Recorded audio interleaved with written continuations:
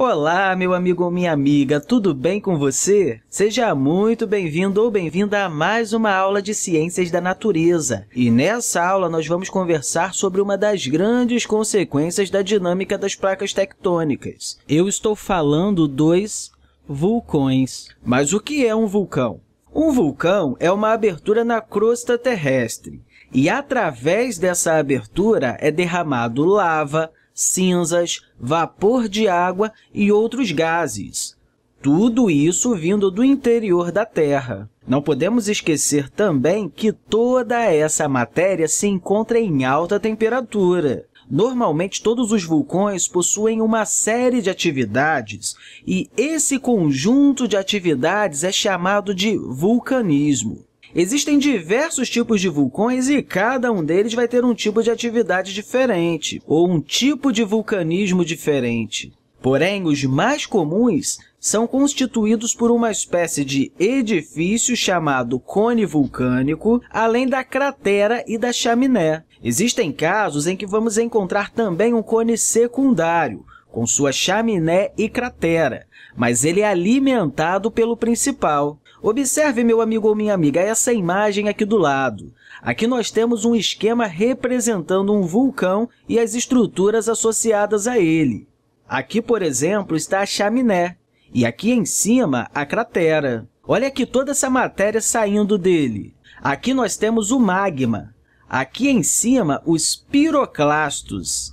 E aqui, escorrendo, nós temos a lava. Por falar nisso, vamos conversar um pouco sobre esses materiais. Vamos escrever isso aqui, então. Materiais vulcânicos. Quando ocorrem as erupções vulcânicas, que é o momento em que diversos materiais são expelidos pelos vulcões, nós vamos encontrar materiais em diversos estados físicos. Os materiais sólidos que são expelidos são chamados de piroclastos.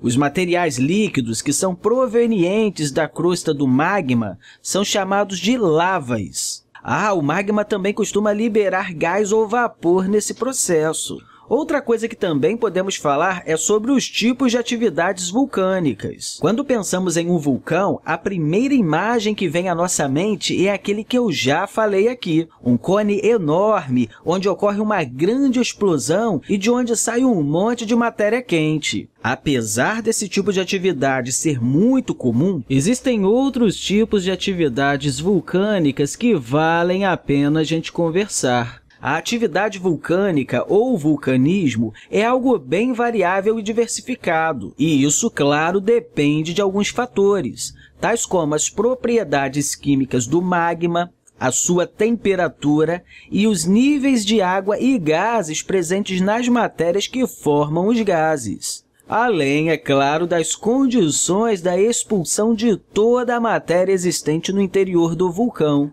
De uma forma geral, podemos dizer que existem três tipos de erupções vulcânicas.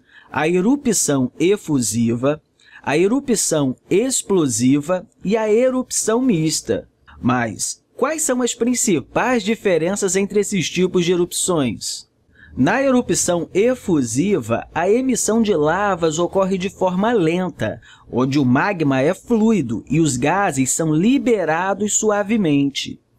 Nesse tipo de erupção, os cones costumam ser baixos.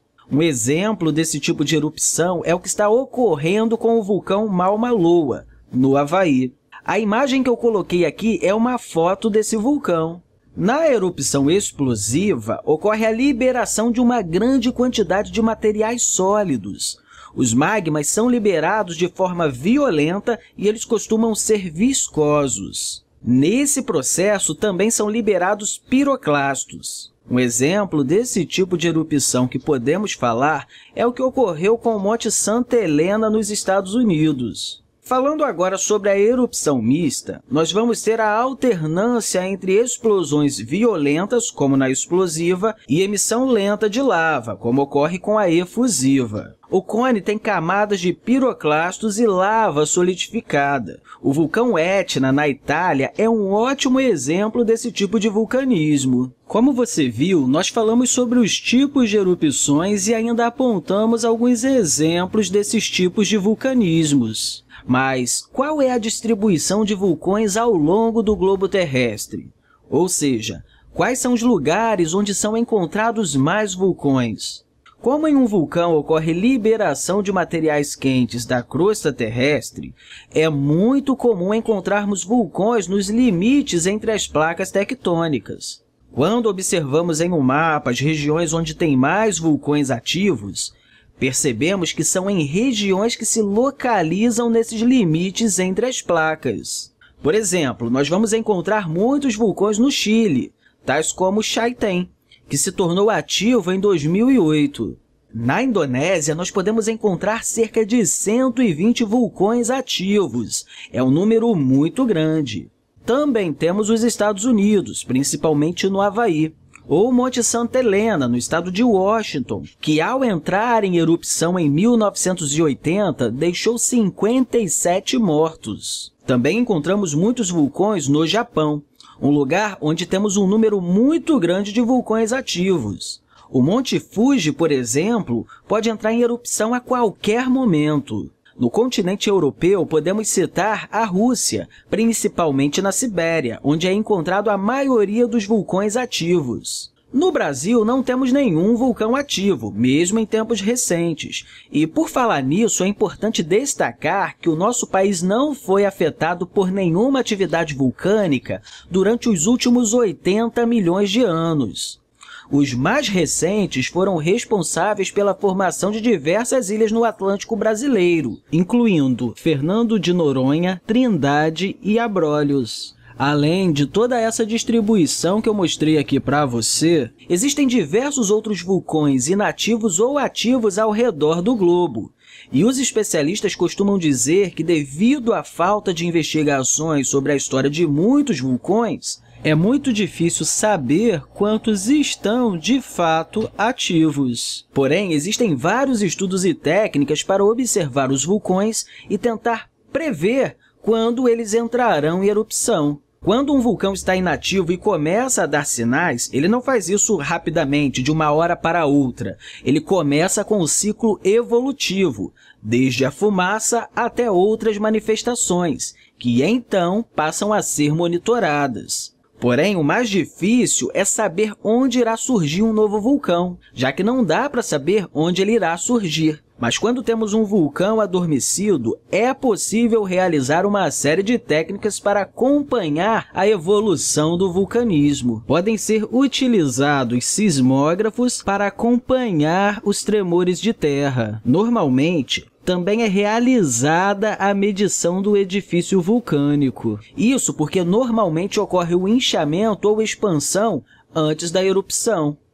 Outros fatores também costumam ser observados, tais como os fenômenos meteorológicos. Enfim, apesar da utilização de todas essas técnicas para acompanhar a evolução de um vulcão e de tentar prevenir que grandes estragos sejam feitos, principalmente no que se refere à vida humana, não podemos esquecer que a atividade vulcânica é uma força da natureza e, por isso, tem um grande impacto no ambiente, além de ser algo que não pode ser impedido. Contudo, as erupções vulcânicas podem sim ser estudadas, além da conscientização das pessoas que moram em áreas de risco para que sejam evitadas grandes catástrofes. Só a fim de curiosidade, a gente pode utilizar aqui o Google Earth para observar diversos vulcões ativos ao redor do mundo. Aqui, por exemplo, eu vou te mostrar o vulcão Krakatoa, na Indonésia, que atualmente está em erupção. Então, como podemos ver aqui, nós temos aqui o Krakatoa. Bem, meu amigo ou minha amiga, essa aula foi sobre os vulcões e o vulcanismo um dos efeitos provocados pela dinâmica das placas tectônicas. Na próxima aula, nós vamos continuar vendo outros efeitos, como, por exemplo, os terremotos e tsunamis. Então, não deixe de conferir essa aula. Eu espero que você tenha gostado desse vídeo e quero aproveitar aqui para deixar um grande abraço e até a próxima aula!